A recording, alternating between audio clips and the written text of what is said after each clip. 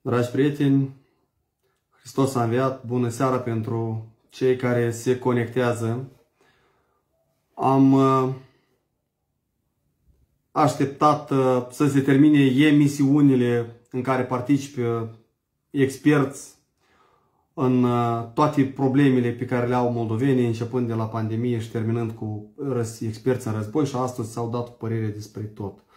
Evident că noi uh, în televiziunile pro-europene, așa numite de dreapta, democrați și noi nu avem loc, chiar dacă sondajele de opinii ne arată ca unul din partidele uh, în creștere și suntem în top 5 partide politice.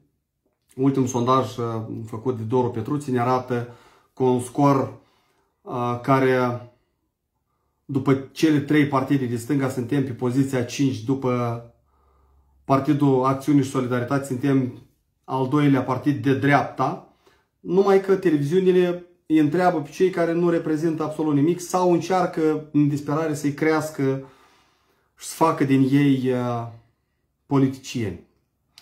Le dorim baftă.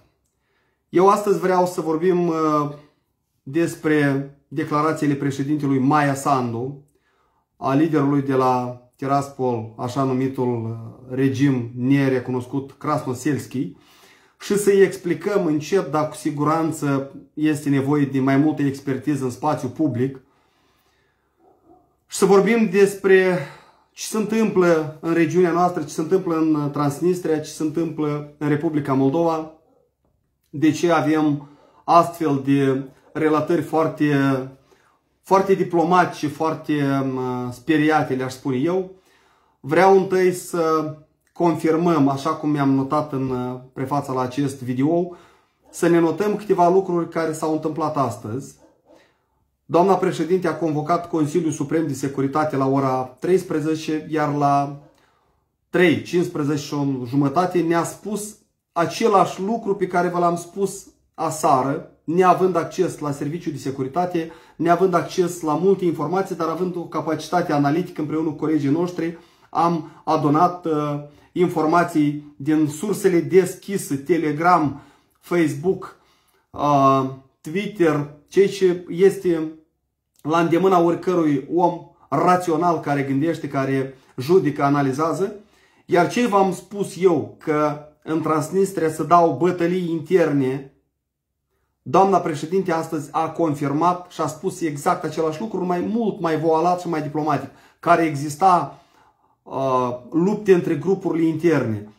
Doamna președinte s-ar putea uh, spune că există două bande criminale care se bat între ele și nu are uh, subtext politic. Dar noi suntem obligați să traducem, pentru că nouă ni se permite și noi nu avem povara președinției și a instituțiilor statului, noi nu trebuie să ne consultăm cu nimeni din afara țării ca să ne spunem punctul nostru de vedere. Noi suntem oameni liberi, deschiși și atunci când vorbim, vorbim în cunoștință de cauză și fără să ne cerem voie de la nimeni. Așadar, doamna președinte astăzi a vorbit despre două grupuri de interes în Transnistria și în confirmarea celor spuse am să fac trimitere și la declarațiile celor care uh, astăzi au uh, ieșit în public. Krasnosielski, președintele Maia Sandu. Doamna președinte a spus clar, exact ce am cerut noi, să se instituie filtre ca să nu permitem ca din Transnistria să vină grupări înarmate, provocatori, diversioniști,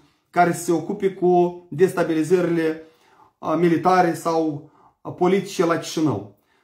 Asta doamna președinte a cerut astăzi după briefingul de presă a instituit o nivel de alertă pentru instituțiile statului și sper ca instituțiile statului, Ministerul de Interne și Serviciul de Securitate să ia în serios uh, solicitările președinției. Eu încă o dată repet, pentru că știu de ce vorbesc, vreau să cred că instituțiile statului, Serviciul de Securitate se poate autocurăță, se poate autoorganiza fără indicații politice, dacă vreți, ca să corespundă așteptărilor și provocărilor pe care le avem cu toții. M-am așteptat astăzi, doamna președinte, să fie mult mai hotărâtă și mult mai deschisă în declarații și să le transmitem un mesaj, un mesaj uh, clar celor din Transnistria uh, că cei de la Chișinău sunt gata să întindă o mână de ajutor în cazul în care ei se decid să vină cu noi, să abandoneze armata de ocupație, dar n-am auzit nimic decât uh, chemări la calm, pace, de parcă lucrul ăsta noi nu știam. Asta despre briefingul de astăzi a doamnei președinte Maia Sandu. Între timp, s-au întâmplat mai multe evenimente în Transnistria. Exploziile de pe aeroportul de sub Tiraspol. Cineva bombardează și distrug intenționat infrastructura militară. Repet, deja aici nu sunt uh, jocuri, nu sunt declarații, sunt acțiuni subversive, diversioniste pe teritoriul Republicii Moldova, care trebuie taxate, iar procuratura m-am așteptat astăzi să spună că au inițiat anchete, dosare penale. Se va termina acest regim separatist, iar noi trebuie să transmitem că stăm cu ochii pe ei și toate acțiunile diversioniste de pe teritoriul nostru și cine stă în spatele lor vor fi investigate pentru că sunt uh, crime de război. Cel mai important ce am vrut să vă spun și mi-am notat este sistemul de antene de la Maiachi, regiunea Grigoriopol, sunt câteva cătuni mai sus spre, trans, spre Ucraina. O, și asta cred că e elementul de bază pe care vreau să-l accentuăm acum seara. Acea, uh, uh, acel post, acele antene de retransmisiune au fost practic unicate în Uniunea Sovietică, au fost construite în anii 60, 14 astfel de antene superputernice care acopereau regiunea, mai ales asta de la, de la Grigoriopol, care cumva au rămas necunoscută până a fost distrusă. A fost uh, una din elementele de bază pe care s-a mizat propaganda. Așa scrie și un expert bulgar că aceste antene erau utilizate de Federația Rusă în scopul propagandei, în scopul informării, dezinformării. Și vreau să vă spun celor care nu cunosc că aceste antene super puternice puteau și facilitau comunicarea radiourilor pe o distanță de aproape jumătate din teritoriul Republicii Moldova, prindeau doar posturile retransmise, posturi rusești retransmise prin aceste emițători. 2. Aceste antene erau extrem de importante în infrastructura militară rusească, dacă vreți, că nu-i transnistreană. Aceste antene facilitau comunicarea militară. Cei care au lovit în aceste antene deja, cei ce v-am spus aseară că au fost provocări interne în adresa MGB-ului, lovitura care a fost dată acestor antene mai degrabă poartă un alt caracter și alt interes. Chiar dacă armata vrea să aibă o alt comportament față de Ucraina și față de Republica Moldova, dar armata controlată de FSB-ul rusesc nu cred că își distruge singure antenele o chestie vitală într-un eventual război. Nu poți să-ți lovești singur antenele. Probabil nici uh, adversarii celor care sunt mult mai moderați în, a, în expresiile publice legate de război, tot nu au de gând. Probabil aici la mijloc stau serviciile speciale ucrainești, care foarte leger pot intra pe teritoriul Transnistriei, au și pregătire, au și muniții, au tot ce trebuie. Și aici trebuie să fim foarte înțelegători ca să vedem maștabul și amploarea acestor evenimente. Vreau să vă amintesc celor care nu știți. Am citit o grămadă de literatură. Din 2014, Ucraina a renunțat la sistemul de comunicare sovietic, comunicare militară sovietic și a trecut la sistemul NATO, sistemul occidental. Iar în acest război, Rusia întâmpină dificultăți enorme, armata rusească, în interceptarea comunicărilor armatei ucrainești, pentru că sunt două tipuri de sisteme de comunicare absolut deosebite.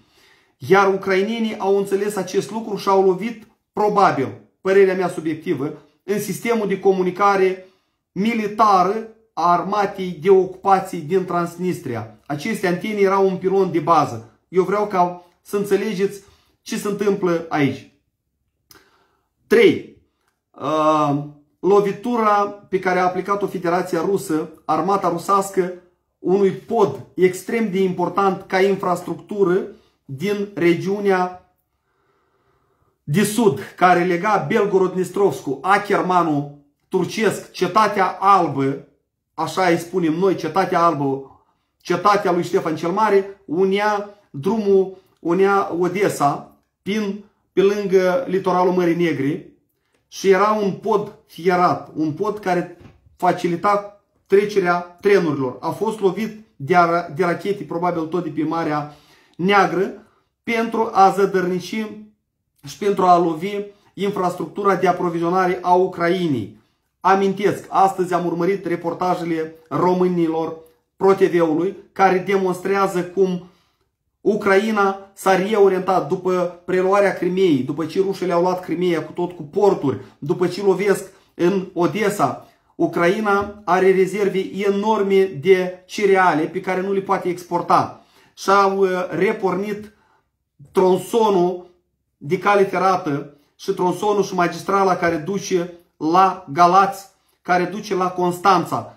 Ucrainenii evacuează și vând cereale în timp de război prin România. Rusia a lovit exact acolo unde mergeau grânile, cerealele spre Constanța și de unde veneau înapoi pentru aprovizionarea frontului ucrainean cu motorină, benzină, cu combustibil. Armata ucrainească era alimentată din România. Rusia nu cedează, iar acest război, de aici apare și interesul sporit pentru Transnistria, pentru regiunea transnistriană. Eu am citit analiza unui expert, Butusov, un expert ucrainean, care practic explică de ce Ucraina ar fi gata să intervină militar dacă ar fi o negociere cu Chișinăul oficial, eventual o discuție cu administrația politică din Transnistria și acum am să ajung și la uh, declarațiile lui Krasnoselski. Pentru, pentru, încă o dată repet, pentru că Butusov explică, Ucraina ține două divizii, practic un contingent enorm militar pe hotarul transnistrian. Ei nu știu pe unde are ieși, iar frontiera între noi și Ucraina pe uh, sectorul transnistrian este unul extrem de întins. Ei spun că noi, în loc să ne pregătim să apărăm Odessa, să intervenim acolo unde bombardează și atacă rușii, trebuie să păzăm Transnistria. Noi suntem gata, ucrainenii, să intervină pentru anihilarea câtorva uh, batalioane rusești de menținere, așa cum spune, a păcii, iar pe moldoveni îi îndemnăm să vină să-și recupereze teritoriile. Asta scriu experții militari ucraineni. Eu vă spun ce aici reușesc să mă informez și eu. Ei bine, e rău, asta merită de discutat. Iar ucrainenii spun că noi am putea rezolva o problemă foarte rapid. O problemă a noastră, a Ucrainei, pentru că Ucraina nu-și poate lua armata de aici, că dacă se pornește spre Odessa sau spre Nicolaev, unde se dau lupte și bătălii, spre Mariupol, ar putea să fie atacată din spate. Asta vă spun ce spune, uh, ce spune experții militari ucraineni. Acum ajungem la mobilizările pe care le-am văzut astăzi și cozele imense din uh, vama transnistriană. Mi-mi pare rău, eu nu știu de ce uh, ai noștri, uh, cei de la vamă, au postat astăzi imagini că nu sunt cozi. A plecat încolo mai multă presă, și ProTV-ul, și TV, uh, uh, și uh, Ziarul de Gardă și au arătat cu adevărat sunt coz. Am vorbit și cu domnul Dumitru, am vorbit cu oamenii din Varnița și pe dimensiunea de ieșire spre Căușeni și pe ieșirea asfalt au fost coz mari. În interiorul Transnistrii s-a speculat, iar la noi speculațiile sunt mai credibile decât știrile oficiale, că după masă Transnistria se pregătește să dea un comunicat și ar putea eventual să mobilizeze oamenii pentru un război, nu știu cu cine. Și oamenii din uh, panică au uh, hotărât să evadeze, să fugă din Transnistria, să-și ia uh, familiile și să plece. Și acum sunt țara Coz. Acum ce spune Krasnoselski? Krasnoselski astăzi a făcut declarații pe care merită să le citim foarte, foarte atent. Krasnoselski fiind exponentul administrației politice, așa numită administrație politică, care probabil undeva au o linie separată între administrația militară, zice că uh, pot să vă citesc ca să nu greșesc exact. Pentru Zelenski și vina, vina pentru acțiunile de pe teritoriul Transnistriei, vina, așa cum noi credeam că vor fi învinuiți cei de la Chișinău, vina o dau pe cei din Ucraina, pe cei de la Kiev și face lecții de moralitate lui Zelenski. În schimb, pentru doamna președinte Maia Sandu, i-a transmis un mesaj șefii statului Maia Sandu. Nu cedați în fața provocărilor, nu permiteți ca Moldova să fie atrasă în agresiune. Nu trebuie să uităm de formatul 1 plus 1 și 5 plus 2. Trebuie să păstrăm pacea, a subliniat Krasnoselski. Krasnoselski care de fapt este, așa cum știm noi, și fără permisiunea rusilor, niciun conducător, așa numit conducător din Transnistria, n-a putut să fie numit, că la ei nu sunt alegeri, numit șef pe așa numita regiune transnistriană. Ceea ce vă spun eu, încă o dată confirmă că acest Krasnoselski, care de fapt este un pion uh, împins în față de către, de către Gușan, de către cei care controlează financiar, șeriful, care controlează fluxurile financiare și care sunt foarte, foarte atenți, prudenți, speriați dacă vreți și înțeleg că unicul coridor, unica salvare pentru ei personal și pentru populația din Transnistria este Republica Moldova, este Occidentul, este uh, așa numită lume civilizată, cum îi spunem noi. Pentru că ei, chiar dacă au avut anumite simpatii sau mai au simpatii pro-rusă, oamenii ăștia au înțeles că bombardamentul pe care l-a făcut Federația Rusă în Ucraina și au bombardat orașele pro-rusă, Harkovul, unul din cele mai pro-rusă orașe, Hersonul și multe alte orașe din sud, care nu puteau fi bănuite de simpatii radicale, neonaziste, cum îi învinuiesc. Și au distrus o jumătate de Ucraina, Transnistria și liderii de aici înțeleg că dacă vine armata de ocupație rusească, vor distruge și vor lăsa ruine în Transnistria. Iar oamenii ăștia s-au reorientat spre lumea civilizată. Acolo unde este interesul Transnistriei, unde sunt banii Transnistriei, de fapt unde merge comerțul Transnistriei. Și lucrul ăsta nu poate fi trecut cu vederea. Am fi noi proști de tot dacă n-am observat.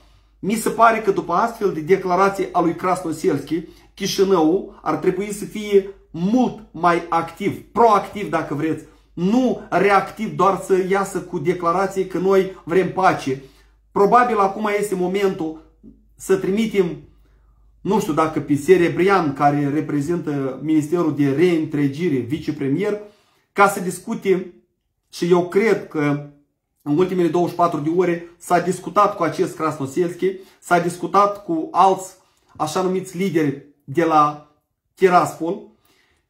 Noi ar trebui să transmitem semnale, nu noi, încă o dată repet, administrația oficială de la Chișinău ar trebui să transmită semnale foarte clare pentru societatea și populația din raioanele ocupate temporar. Să le spună că noi suntem garantul păcii, a suveranității, independenței și a bunăstării comune. Pentru că armata de ocupație nu poate să aducă decât moarte, decât distrugere, decât orașe pustii. Asta trebuie să o facă conducerea politică a Republicii Moldova. Eu asta aștept, iar noi nu trebuie să așteptăm când se vor întâmpla, nu știu ce se va întâmpla, inevitabil se va întâmpla, iar noi vom fugi speriați cu pompierii să stângem nu știu ce. Eu zic că noi trebuie să avem o politică proactivă, este o șansă unică de a rezolva problema transnistreană în termeni diplomatici, inteligenți. De ce nu-i propunem? Haideți să punem capăt acestui așa numit conflict, haideți să ne așezăm astăzi la masă, haideți să trasăm linii, pentru că nu ne ajută rușii cu nimic. Rușii dacă vin, vor distruge în continuare și vor lăsa prăpădă în urma lor. Asta am așteptat să aud categoric hotărât. Probabil să mai întâmplă niște lucruri, se mai consultă cu experți veniți din Germania. Noi încă nu știm toate detaliile. Tot astăzi, doamna președinte a făcut trimitere la așa numiții lideri să fie mai atenți în declarații, să fie mai uh, lideri politici, lideri a unor partide și uh, experți, dar nici nu experți, dar uh, uh, influenceri, oameni care uh, au o comunicare uh, exact ca a noastră. Eu vreau să vă spun că doamna președinte Maia Sandu ne-a avut în vedere pe noi. Pentru că ieri, Sara, de ieri până seara, până astăzi, n-a vorbit nimeni în afară de noi. Nici pe dreapta, nici pe stânga. Uh, doamna președinte, noi suntem foarte atenți în comunicarea noastră. Și ce nu reușiți dumneavoastră să facem, o facem noi mult mai deschis, mult mai transparent, mult mai curajos dacă vreți. Noi nu chemăm la destabilizări, nu chemăm la dezordine, noi încercăm să calmăm spiritele în societate și să-i explicăm civilizat ce se întâmplă în regiunea noastră. Asta facem. Dumneavoastră aveți responsabilitățile pe care le aveți, noi le avem pe noastre. Și acolo unii credem noi că este necesar să intervenim, intervenim. Uh, mai avem o sugestie pentru administrația de la Chișinău, pentru doamna președinte Maia Sandu. Krasnoselski, așa cum este el, încă o dată repet, a anulat parada din 9 mai. În vederea ultimilor circumstanțe, în vederea în care și provocările, că nu sunt provocări, astea sunt atentate teroriste, încă o dată repet, sunt acțiuni teroriste, nu știm de cine organizate, ori de serviciile speciale rusești, ori că sunt uh, în spate alte forțe de destabilizare în regiunea noastră, noi, cei de la Chișinău, administrația, președinția, prim-ministru, să-și asume iar parada din 9 mai, pe care vor să o organizeze reprezentanții lui Putin, Dodonei, Bătrâncei și toate cozele astea de topor să fie interzise. Interzisă prin hotărâri, prin legi, prin și vreți. Nu se poate să-i lăsăm să-și facă de cap pe teritoriul nostru, având alertă de terorism. Și dacă mâine, la 9 mai, la paradă, vin grupiroși înarmate din Transnistria și fac acțiuni teroriste în mulțime, cine va purta răspundere pentru asta? Oficial Chișinău, pentru că propaganda rusă și Pescov și toată arleata de la Moscova doar atâta așteaptă ca să învinuiască Chișinăul oficial pentru acțiuni de destabilizare, dar ei le vor pregăti pentru că ei nu știu să facă mănăstiri. Ei doar știu să provoace, să distrugă. De asta îndemnul meu, pe această cale și vă rog pe toți cei care sunteți urmăritorii noștri, să scriți mesaje publice prin care să cerem această paradă pe timp de război, că suntem într-un război. La noi, pe teritoriul Republicii Moldova, se întâmplă acțiuni teroriste să cerem guvernării ca această paradă să fie pur și simplu interzisă. O ajuns Krasnosierski mai deștept decât Dodon? Sau mai loial guvernului de la Chișinău decât Dodon? Nu mai repet a mia oară că acest Dodon trebuie să arestat imediat ca unul din figuranții de bază a infrastructurii teroriste, dacă vreți, a Federației Rusă. Omul din credere, omul Bahamas, omul Culioc, Omul care stă la baza tuturor trădărilor naționale și a tuturor schemilor. Ce dracu ne temem de el? Eu nu înțeleg. Doamna președinte, ne-ai făcut din deget la toți, ai spus că serviciile secrete moldovenești se vor ocupa de cine? De blogeri. De mine să vă ocupați. De cei care vorbesc. Doamna președinte, dați ordin că sunteți comandantul suprem. Ca acest trădător de neam și de țară să fie arestat. Pentru că el stă în spatele la tot ce înseamnă provocările interne, destabilizările interne de 9 mai. Interziceți parada asta. Nu așteptați să întâmple, nu știu ce să întâmple, nu știu care provocări, ca noi pe urmă spunem, da, bă, n-am știut, da, n-am vrut, da, nu știu cum. Interzis, suntem stat suveran și independent. Interzis parada. Pentru că 1, 2, 3, avem sistem de alertă. Securitatea poate să vă raporteze că s-au pregătit grupi roși care vor face destabilizări. Ce așteptăm? Ori nu știți cum să acționați. Dați-ne voi noi, că noi știm cum să acționăm. Să vedeți într-o săptămână cum îi punem la respect pe toți ăștia. Cu tot cu panglicele lor. O să defileze după război. După ce cade imperiul ăsta, o să defileze cât o să vrea. Acum suntem în prag de război cu destabilizări pe teritoriul nostru. Nu avem când să negociem cu ei, nu avem când să-i pupăm în frunte, să-i rugăm, te rog, nu râma, te rog, nu grohăi. Ăsta răstoarnă treu ca și noi batem din palme. Ia lasă-mă, că așa nu se face. Eu asta am vrut să vă explic, dragi prieteni. Calm, cumpătat, hotărâți trebuie să fim. Cei care nu ne sunt prieteni trebuie să vadă noi hotărâri. Suntem cu inimă, suntem cu dragoste din neam și țară. Noi o să rămânem aici. Noi nu o să facem coz la, la Leușeni. Vă spun eu. Noi o să rămânem aici. Dar cei care provoacă astăzi și cheamă război și îl invită pe Putin să ne elibereze de alte Voronin, Tkaciuc, Dodoniei ăștia să știți că sunteți în vizorul nostru. Eu vă spun, sunteți în vizorul celor care i-ați chinuit și i-ați obișnuit ani de zile și i-ați sărășit, i-ați adus la sapa de lemn. N-ați rezolvat nimic, ați făcut schemi, ați făcut corupții cu Transnistria, ați făcut contrabandă, ați distrus producătorul, ați fugărit un milion jumătate de populație de aici, aveți noroc cu o guvernare extrem de moale, nu știu cum să-i spun. Extrem de, de, de, de cuminți băieții ăștia de la guvernare. O parte din ei s-au orientat repede și fac bani, dar o parte sunt extrem de cuminți. Avem nevoie de caractere, avem nevoie de hotărâre și avem nevoie să nu ne plângem că nu, nu, nu ne așteaptă nimeni să ne iorlăim. Și nu credeți că dacă trebuie să fugim undeva, nu ne așteaptă nimeni, nici nemții, nici franțuzii, nu ne așteaptă nimeni. Aici e pământul nostru, aici suntem acasă, iar la Chișinău, în afară de Deviato Emaia, Polc, uh, nu știu care, noi ținem minte, noi comemorăm victimele războiului 2 mondial, pentru că au fost mulți, mulți din părinți, din bunii noștri, care au trecut prin acestea. Noi nu negăm, noi nu spunem prostii, noi vom merge, dar nu vrem să facem din asta propagandă. Antena doborâtă în Transnistria e o lovitură în propaganda rusă. Doamna președinte Maia Sandu, când interziceți cele 10 televiziuni controlate de Dodon plătite de Federația Rusă care spală creierul moldovenilor în toată ziua.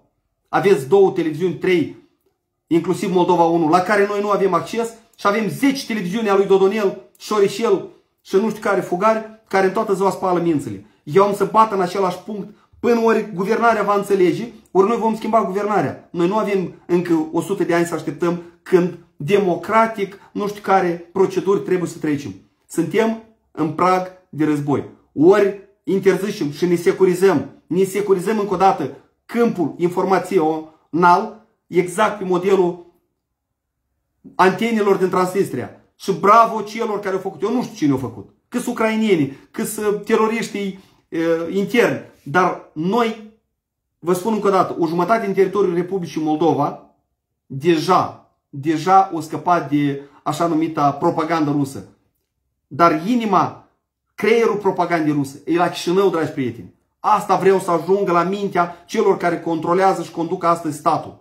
Nu umblați cu fofărlica. Tăiați problema de rădășină și întreptat vom lecui moldovenii de, de dezinformare și de, de dezmățul care l-au băgat în cap. Că dacă vorbești într-un sat, o să-ți spună și sondajul lui Petruț arată și toate sondajele arată. O 40% din moldoveni consideră că războiul l-a pornit Zelenski, de parcă Zelenski atacă Moscova, de parcă nu armata rusă bombardează Ucraina și face dezmăți la noi în Transnistria.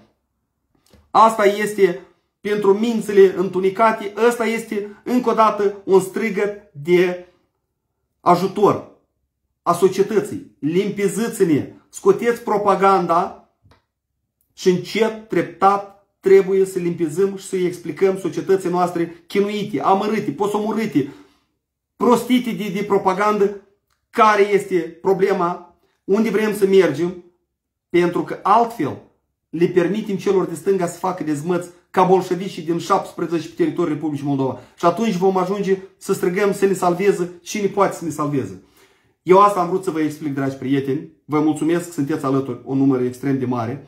Rugămintea mea, pentru că ne-au blocat cam o săptămână la rând, ne-au preluat paginile, să distribuiți mesajele noastre vă costă un click, un, o distribuire, un click pentru ca să informăm societatea din surse de alternativă. Nu neapărat de la propaganda lui Putin să ne informăm. Tărie, curaj, Hristos a înviat, viața bate întotdeauna filmul. Așa că filmele desenate în capul lui Putler, al lui Pescov, al lui Lavrov și al lui studentului Lavrov de aici de la Chișinău, îți doar pe hârtiile lor noi suntem tari pentru că avem Dumnezeu de partea noastră. Și cum am rezistat câteva mii de ani pe pământul ăsta cu măliguți, cu brânză, vom rezista și în continuare. Vă cuprind, vă îmbrățișez tărie, curaj, caracter. Restul totul o să fie bine.